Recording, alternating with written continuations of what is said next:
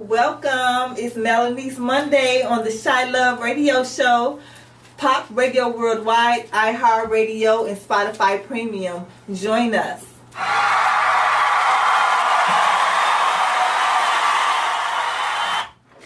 Sending healing, light, and love to all of my listeners. So, I was, um, I just did a co-host with the Prince of Pain Pop Radio Worldwide with Miss Mida. So make sure to check that out.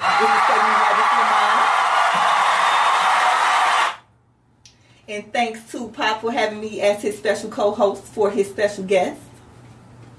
Now, I want to, um, this particular segment is going to be about awareness. I'm going to give you all a um, synopsis of an incident that I had last week, last Monday, coming from the radio show in the Uber. I took an Uber pool home, and um, the driver was driving past my house. Okay? I'm telling this man that this is not the direction to my house. At first, he was corresponding with me and he's oh no this is not the way this is not the way to your house. I'm saying no this is not the way to my house. He's pointing at his phone um, basically uh, motioning toward the gps system like he following the gps system. We ended up all the way at the sky the uh, skyway going to indiana. Um, after he started to ignore me as I kept telling him that this is not the way to my house and you have we actually were nowhere near my house at that point. Um, I ended up calling uh, my significant other and had him on the phone with me during this process. Um, so we pulled up at the Skyway toll booth. Thankfully, he happened to drive in the lane with the only toll operator who was out that night. His car was not swiping to go through.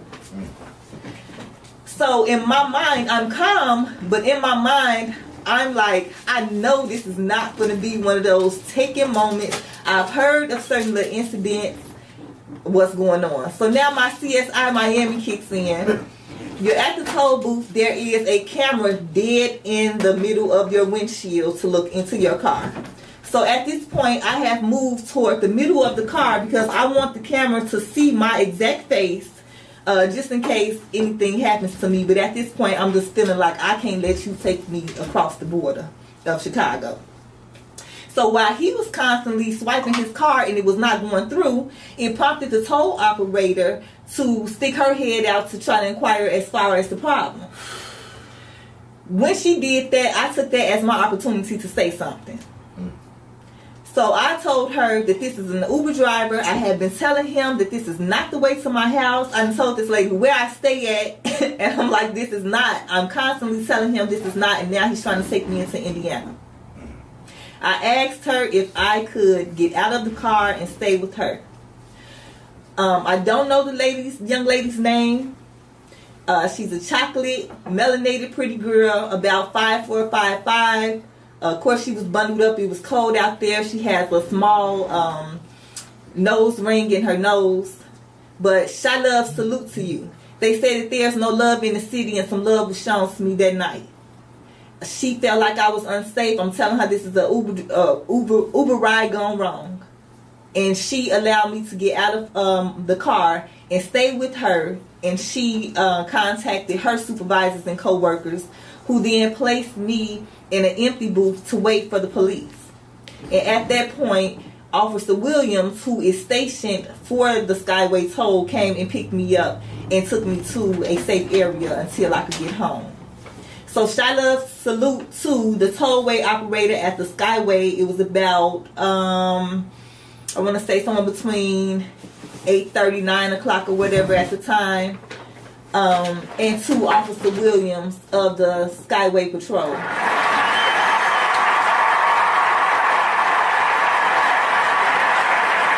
So there is definitely love here in the city, and it came uh, at the most, at the greatest time for me.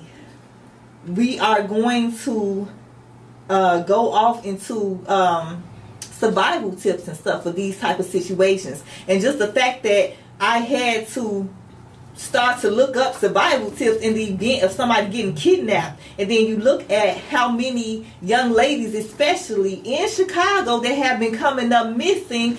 This is a topic that needs to be um, that everyone needs to be aware of and um, just prepare for in the event of. So um, we will definitely be going deeper into how to survive potential kidnappers. Uh, I'll give you one first tip. They said within the first few seconds, fight for your life, fight with everything that you have. Dirty fight, gouge the eyes, the throat, so forth. As I was sitting in the back of that man's car, and I'm like, okay, if this car goes through and he takes me over the border, I'm gonna make this man have a crash. At this time, I'm thinking I don't have anything on me. So now I had to be creative, and I'm thinking I'm gonna take the strap of my purse and loop it around his neck from the back and take my keys and stop because I'm not. You're not gonna have anybody go home and tell my kids that their mother isn't coming home. So at that point, it was gonna be either me or him. Uber did not take it seriously at first, and once I had to express my dissatisfaction, they ended up giving me a full refund. Even I had them investigated with the, their critical response uh, safety team they said that uh, he came out clear and that he didn't do anything wrong. They're trying to blame it on the GPS system, and that's what led him there. And I do understand that the GPS system does have glitches, but if the person who the person knows where they live better than the GPS system, and if someone is telling you I don't live this way, you're taking me the wrong way, you don't just start to ignore a person and keep driving. The whole situation could have just went a, a totally different way. I could have not remained calm and just started attacking him right then and there as soon as he turned his head and kept driving. And then he would have felt like, oh, well, I was just trying to follow the GPS and she attacked me. But I'm telling you, I don't stay this way. And I'm repeating myself. So luckily, I had somebody on the phone with me who could, you know, be a witness. And you would think like with these Uber situations, when you order uh, an Uber, they give you a picture of the person, the person's name, the description of the car, and the license plate number. And yet we have incidents with Uber drivers who are uh, pulling over, taking them past their route. Um, I heard of an incident where a little young girl was um, getting molested, well, attempt molestation. And she ended up fighting her way out, and a stranger gave her the his um, phone so that she can call her parents. So the fact that a person is recorded, their vital information is, you know, they can be tracked down by the police. It still is not stopping certain people from feeling like they're going to do whatever it is that they have to do. So in that case, we as residents of Chicago here have to protect ourselves by any means necessary. Um, I have a few items here that you can use. Um, pepper spray. You know, the, the brass knuckles are uh, illegal, but these these knuckles, these are legal. If you go on Amazon, you know in the little movies, when you can take this and wrap it around a person's throat, a survival knife. We can play with some. We don't want to play with knives, but I'm just saying. don't force a person to use it, okay? We should not have to walk around with so many weapons to try to protect ourselves, and we're only trying to get from point A to point B to conduct business with an Uber driver you thought that taking Ubers would be better now because back in the day with the cabs, they didn't have any real records of these people that you were getting up in the car with. Now they have everything that they're giving you, and yet some of the people still feel like they're going to take a chance with somebody else's life. So in that case, I would tell you, you know, if you did have an incident with any Uber or Lyft people, I heard about an incident in Houston with a woman with a Lyft. And what tweaked me out was that her story was actually similar to mine about how she was telling this man she don't live this way and he was ignoring her and doing what he wanted to do. But in her case, she, you know, hers went a little bit further. So I'm very grateful for Mama Daddy God because he kept um, swiping their card and it would not go through. His card did not go through until after I got out of the car. So I got to thank Mama Daddy God, the spiritual realm, the universe, whoever it is that she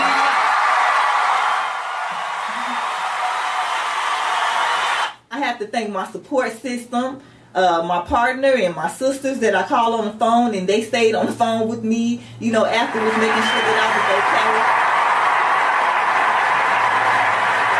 was okay. And of course, the toll operator at the Skyway and Officer Williams. Thank you very much You didn't know me. Um, you putting me in the booth could have been a violation of your uh, job requirements and out of safety, you still looked out for me, and I appreciate you very much. ChiLove, salute. There is love in the city of Chicago.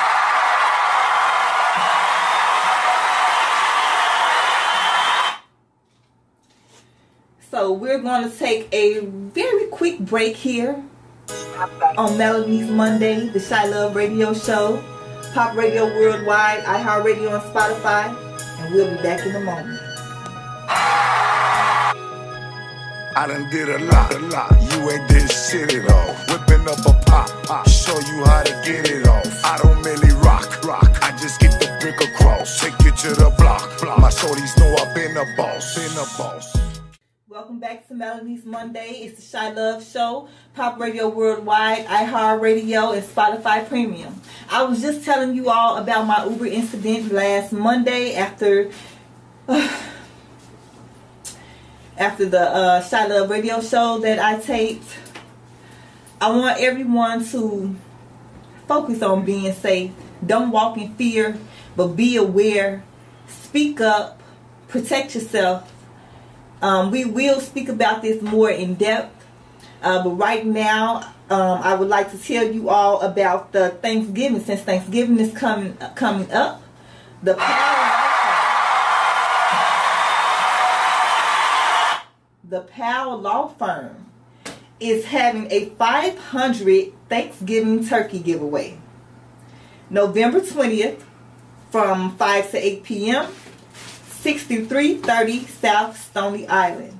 Again, that's November 20th, 5 to 8 p.m. 63 Stony, 6330 South Stony Island. That's the YMCA. That's right on the corner. They are giving away 500 Thanksgiving turkeys. Uh, you will receive a turkey and a tote bag. So make sure this Wednesday, November 20th, from 5 to 8 p.m., 6330 South Stony Island. Go and get you a turkey for your family in a tote bag. You can always use extra food.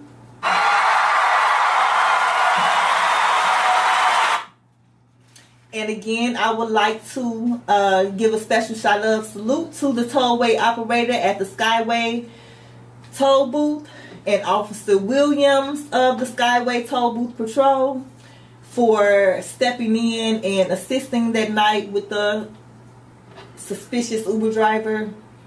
Um, thank you all very much.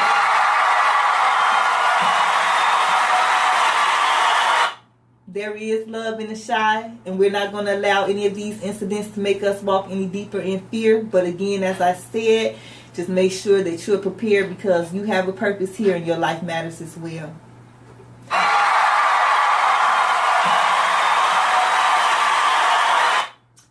You all for tuning in again to Melanie's Monday on the ChiLove Radio Show, Pop Radio Worldwide, iHeartRadio, and Spotify Premium. Tell me where to go follow you on all social media platforms. You can follow Baby. me on Facebook, the Melanie Hogan, uh, Instagram, Melanie Hogan 7, Twitter, Melanie Hogan 7, ChiLove, C H I L O V E, one word, one movement, one love. Tell them where we at on YouTube, man uh, YouTube, Pop Radio Worldwide, Pop baby.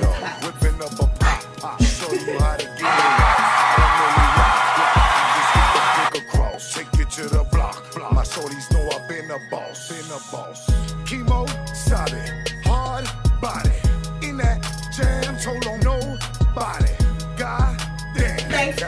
Having me as a special co-host with a special guest today, Miss Maida Delvalier. Yeah, that's a pretty girl. You all need to look into her. And thank you all to all my listeners who were in tune for Melanie's Monday on the Shine Radio Show, Pop Radio Worldwide, iHeartRadio, Spotify Premium. It's all love, ChiLove, sing